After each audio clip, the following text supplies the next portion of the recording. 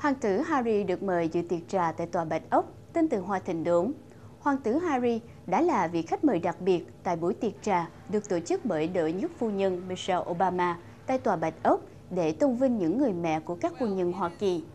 Hoàng tử Anh Quốc đã bước vào một phòng hội trường trong tiếng hoàng hồ của đông đảo các bà mẹ và con em của họ, trong khi đệ nhất phu nhân bày tỏ niềm vui của mình khi đón tiếp nhân vật hoàng gia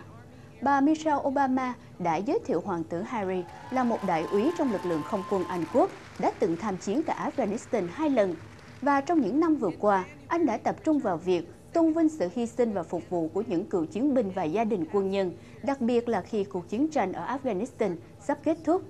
Hoàng tử Harry đã bắt đầu chuyến công du kéo dài một tuần của mình tại Hoa Kỳ với chặng dừng chân tại một cuộc triển lãm hình ảnh của các nỗ lực ra phá bom mìn được phối hợp bởi tổ chức Halo một tổ chức từ thiện tập trung vào công việc dọn sạch bom mìn và các vật liệu nổ khác trong các khu vực chiến tranh. Hoàng tử Harry đã cùng đi với Thượng nghị sĩ John McCain và ông Guy Willoughby, giám đốc của Halo tại Bắc Mỹ. Sau đó trong ngày, anh đã là khách mời danh dự tại một bữa tiệc được tổ chức tại tư gia của đại sứ Anh Quốc ở Hoa Kỳ, ông Peter Westmacott. Trong buổi tiệc này, Hoàng tử Harry đã có một tuyên bố vinh danh mẹ của mình. Anh nói, công nương Diana là người rất quan tâm về vấn đề dọn sạch bom mìn, nên anh nghĩ bà sẽ rất tự hào về sự kết hợp làm việc của anh với tổ chức Halo.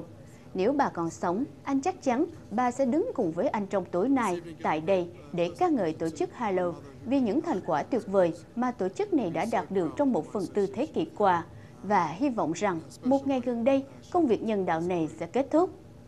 Hôm nay thứ Sáu, Hoàng tử Harry đã đến Nghĩa trang quốc gia Arlington để bày tỏ lòng kính trọng của mình tại khu vực số 60, nơi mà nhiều binh sĩ thiệt mạng trong cuộc chiến tranh Afghanistan và Iraq được chôn cất. Anh cũng đã đặt một vòng hoa tại ngôi mộ chiến sĩ vô danh trong Nghĩa trang và đi thăm cơ sở phục hồi chức năng Trung tâm Quân y Quốc gia Walter Reed.